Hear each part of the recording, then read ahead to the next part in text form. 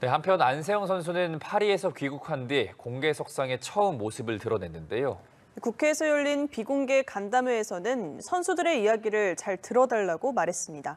박수주 기자입니다.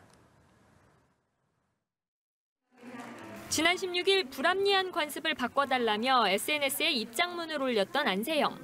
파리에서 귀국한 지 약 2주 만에 공개 석상에 나타났습니다.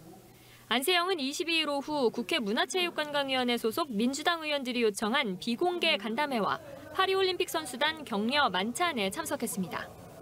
비공개 간담회는 30분 남짓 진행됐는데 이 자리에서 안세영은 문제가 원만히 해결됐으면 좋겠다며 요구사항으로 선수들의 이야기를 잘 들어달라고 말한 걸로 전해졌습니다.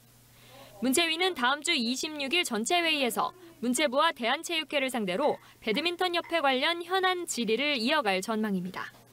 파장이 이어진 가운데 안세영의 작심 발언과 관련한 자체 진상조사에 나섰던 배드민턴 협회는 결국 조사를 중단했습니다.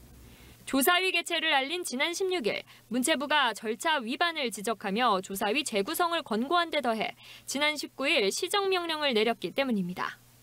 문체부는 협회가 권고를 따르지 않고 안세영에게 면담 날짜를 제안하는 등 조사 강행 움직임을 보이자 곧바로 시정명령을 내렸습니다. 협회는 그 뒤 문체부 조사에 참여할 수 있게 해달라고 요청했다가 조사 대상이라는 이유로 거절당한 것으로 파악됐습니다.